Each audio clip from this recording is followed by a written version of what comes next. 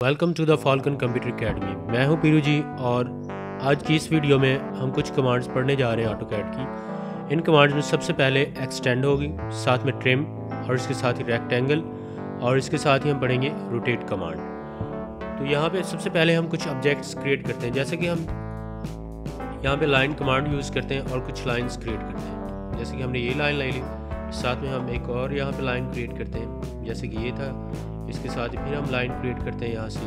यानी कि इस तरह से ना आपने कुछ ऑब्जेक्ट्स क्रिएट करना है। यहाँ पे भी हम कुछ ऑब्जेक्ट्स क्रिएट करते हैं। साथ में इधर से भी कुछ ऑब्जेक्ट्स क्रिएट कर लेते हैं। इस तरह यानी कि आपने ना कुछ ऑब्जेक्ट्स क्रिएट किए हुए हैं। तो इसमें सबसे पहले हम पढ़ेंगे एक्सटेंड कमांड जैसे कि आप यहाँ पे, ये आपने लाइन्स क्रिएट की हुई हैं। और अब इन्हीं लाइन्स को जो है ना हमने इस पॉइंट के साथ जोड़ना है।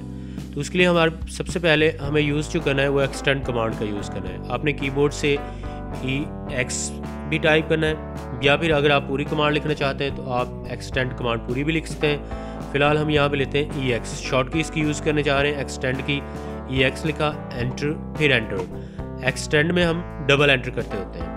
इसके साथ ही आपने यहाँ पे क्लिक करना है। फ़र्स्ट पॉइंट पे देखें कि वो पॉइंट जो है वो ऑटोमेटिक उसके साथ कनेक्ट हो रहा है।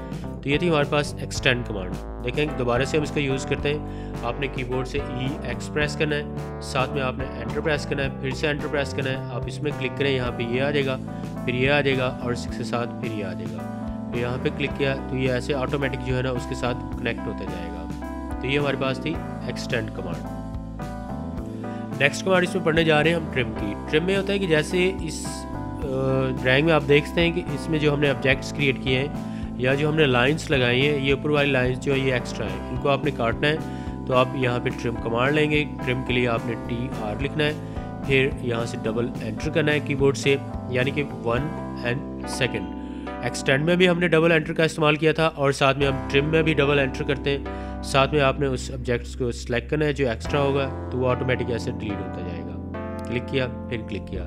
या अगर एक साथ करना है तो आप उनको ऐसे सिलेक्ट करें और क्लिक करें तो ये ऑटोमेटिक डिलीट हो जाए जैसे ये ऑब्जेक्ट है तो यहाँ से ये डिलीट हो जाते हैं। तो ये थी हमारे पास ट्रिम कमांड नेक्स्ट में हम इसमें पढ़ने जा रहे हैं रेक्टेंगल रेक्टेंगल्स में होता है कि अगर आपने कीबोर्ड ड्राइंग में रेक्टेंगल्स क्रिएट करना है कुछ, जैसे कि हम यहाँ पे रेक्टेंगल के लिए आर ई सी कमांड लेते हैं। रेक्टेंगल्स के लिए आर सी एंटर लिखा। आपने यहाँ पे क्रिएट किया। क्रिएट करने के बाद ये जो बॉक्स क्रिएट हो रहा है, इसे हम रेक्टेंगल कहते हैं। तो इस तरह की आप रेक्टेंगल्स बड़ी भी क्रिएट कर सकते हैं। देखें कि यहाँ पे आपने रेक्टेंगल कमांड एक्टिव की तो ये ऐसे रेक्टेंगल आ जाएँगे मज़ीद अगर इन्हें बड़ा करना चाहते हैं तो आप यहाँ से और भी बढ़ा सकते हैं। तो ये हमारे पास रेक्टेंगल्स होंगे। इस तरह यानी कि आप कोई भी रेक्टेंगल क्रिएट कर सकते हैं।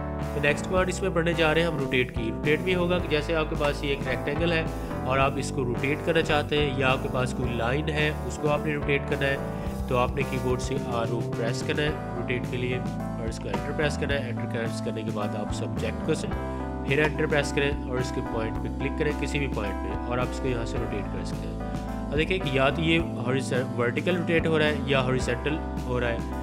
तो हमने क्या करना है? ऑर्थो कमांड को ऑफ़ करना है। जैसे ही आप ऑर्थो को ऑफ़ करेंगे तो ये आप किसी भी एंगल पे इसको रोटेट भी कर सकते हैं। ऐसे आप कर्सर के साथ देख सकते हैं कि वो एंगल का ऑप्शन भी दे रहा है। जैसे हम इसको 45 डिग्री पे रोटेट करते हैं। आपने यहाँ पे एंगल टाइप किया एंटर कर दिया तो वो उसी डिग्री पे रोटेट हो जाएगा। देखिए अगर आपके पास यहाँ पे कोई लाइन कमांड है, या आपने कोई लाइन क्रिएट की हुई है और इसी आप लाइन को जो है ना रोटेट करना चाहते हैं तो उसके लिए आपने आर ओ लिखना है रोटेट कमांड एक्टिव करनी है एंटर करना है एंटर करने के बाद ही उस पर क्लिक करना है और एंटर कर दिया फिर पॉइंट सेलेक्ट करें किसी भी पॉइंट से इसको। और साथ में आपने उसकी डिग्री दर्ज करनी है डिग्री दर्ज करने के बाद आप एंटर प्रेस करेंगे तो उसी डिग्री पे इसको रोटेट कर देते हैं। तो ये थी हमारे पास आज की वीडियो